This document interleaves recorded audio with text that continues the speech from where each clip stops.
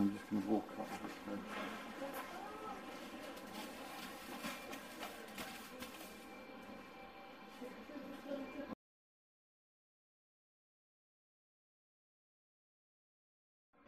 Well, welcome. This is a test video, really. Uh, I'm hoping to do, my next build is going to be a bird. A bird, either a bird of prey or a pterodactyl. Um, not quite sure, I'm waiting for the votes to come in. But I'm hoping to use a material which is readily available. And uh, so here it is, as I disappear in green screen. it's green laminate floor underlay. It's a polystyrene, XPS polystyrene. It's 60 centimeters by 85 centimeters sheets. They're 5 mil um, thick. You can buy them at most hardware stores. I think you can get it down to about £17.99 for 19 sheets. So um, what I'm going to do today is I'm just going to run through two things I want to check. One, a suitable glue I want to use and the other thing is is how I can get some curves in it whether we can use like I've done with my little glider using steam or heat to actually help it shape certain areas so this is just a video on the glues to use on the green um, insulating foam okay so let's just run through some of the I've already ruled out super glue two reasons. One, with some preliminary experiments, um, it's burned through. Um, I don't want to run to the cost of using um, a foam safe super glue and as I've always said in previous videos I am not happy with using anything that uh, produces fumes. So I have a cheap PVA adhesive which I bought from a local hardware store I've got P, I've got Gorilla Glue, that's their white wood glue which I've used and quite like. I have standard foaming um, glue from Gorilla. I've got my Superfatic wood glue which I'm going to use. And I've also got these two which are well known to be used on polystyrenes already. So that's the UHU Por and I've also invested in this foam to foam foam safe. So what I'm aiming to do is I have some test pieces and I am just going to glue them like so. And what I'd like to do is possibly run a fillet over the top like so like a cap strip just to see how well the glues actually adhere to um, that structure when it's got some curve in it. Okay, the other thing I wanted to test is just how much of a curve we can put on with this. Um, I did a little bit of experimenting in the kitchen and you can use steam, uh, but that's a little bit um, long-winded. I did try hot, a solar film style hot air gun, heat gun. Um, it's too hot really. Um, you'd have to be very, very quick as you'll burn it very quickly. The thing I found quite that's worked quite successfully is just a hairdryer. And then all I've done notice if you overheat it, it will go shiny.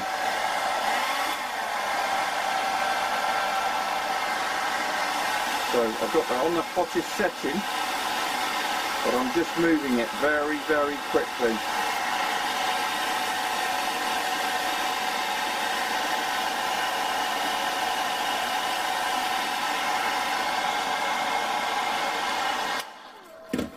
And then what I found was I could just slowly start to work that round like so. I've got it sort of about halfway round. It takes a bit of time, but it does actually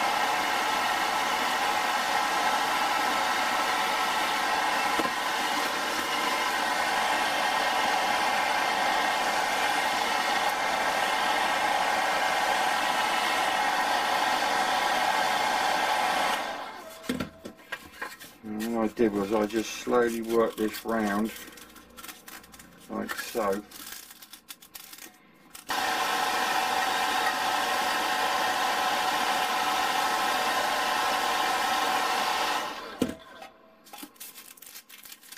And just form that round like so. Let it cool down and the moment it's cooled, um, that'll be ready to come off.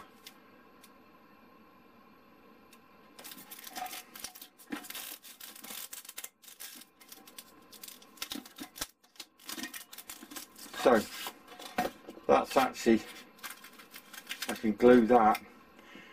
And that's actually quite promising for a future project which I have lined up. I'm not going to let you know what it is, but at the moment that's quite exciting for a very big project I've got. Shape might be a bit of a giveaway. But anyway, it does take a shape. I'm going to leave that overnight just to see what happens. Um, I did one earlier as an experiment, so I'm going to leave those, see what happens, and see how much they open up by. But uh, that's uh, quite an import. That's quite an impressive um, concept to be able to do that. But definitely use a hairdryer. Don't use a hot air gun. Right. Okay. 24 hours later. Uh, let's have a little look. So this is the PVA, just a standard cheap PVA I bought from the local shop. Um, I've taken all the pins out. Um, ah, yeah, that's just pulled off. Dead, dead easy. Um, it's, yeah, that's a fail.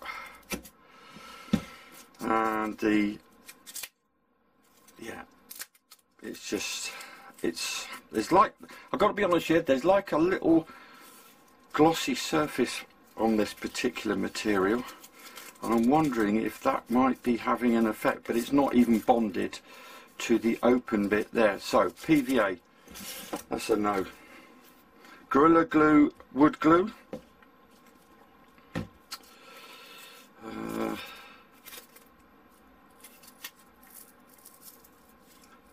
that's taking some force but similar to the PVA I mean that's manageable but I'm, I'm not really happy with that one. I mean yeah peels off real easy. So um, the Gorilla Glue wood glue that's a fail for my projects anyway. Now foaming standard Gorilla Glue. Uh, so you can see obviously you get the foaming on the outside but that sands off quite nicely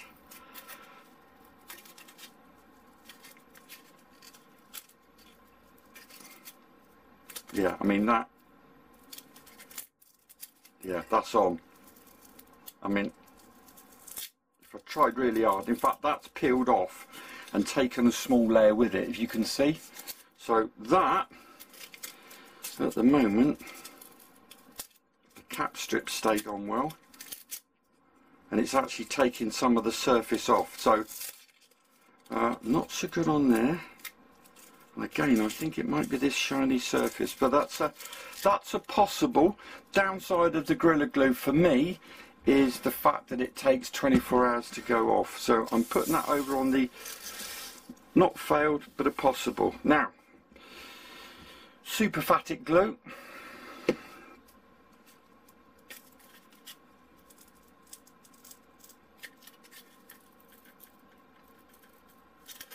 That's uh, Yeah, that, I mean that's yeah, that's that's actually better than a Gorilla Glue.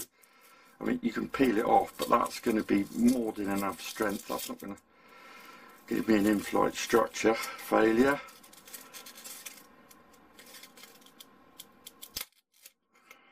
Now that's interesting because that superphatic glue has just gone through. I don't know if you can see that in the light. There you go. That has just gone through. So it's not eroded it but it's just taken that top surface off and you can see on there it's on the other side. So that and given the time that I can get that off that's a that's a that's a yes for me.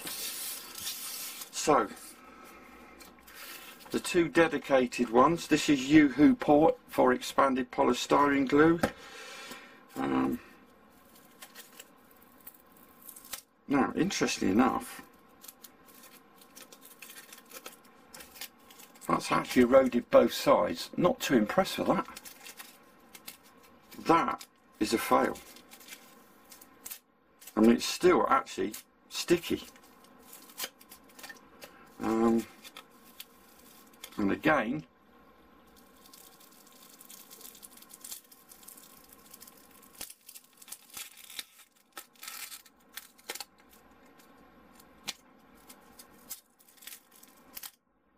yeah, my purpose is, I'm sorry, this particular material, UHU Por, that's a fail.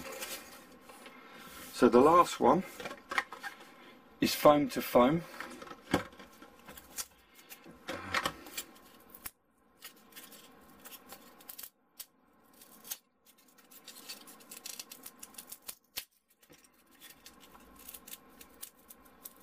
Yeah, this is very good. Yep, that's very good. Let's see what the ribbon cap strip's like. That's taking some force to break that and that's very similar to the Superfatic. As you can see there's just been a little bit of erosion of the surface and I do wonder whether I actually when I'm doing any of the builds it might be worth experimenting with just giving these a light sand before I apply the glue. So that's a definite for foam to foam, definite for Superfatic and uh, a possible overnight Gorilla Glue. But at the moment, Superfatic, foam to foam, they get my votes. One last thing, the um, cowlings that we made uh, for a potential jet. Or did I say jet? Did I give it away? Um, that's not really spread out. The one I did earlier, which was an experiment, has spread out just a little, um, but I didn't really go mad on that, so that's quite good. I think what I might try to go and do is see if I can get these to butt together with either the foam safe or the Superfatic and see how well they stayed glued. But anyway, glue for the project using the um, polystyrene tile underlay for laminate flooring it's going to be these two glues. So this is a little project which I did earlier in the summer when I did some laminate flooring for my daughter and uh, this is just what's going to be an electric F15 downloaded the plans and um, just did a little bit of experimenting with it. Um, I really like the product but we're going to find out very shortly with the next bird build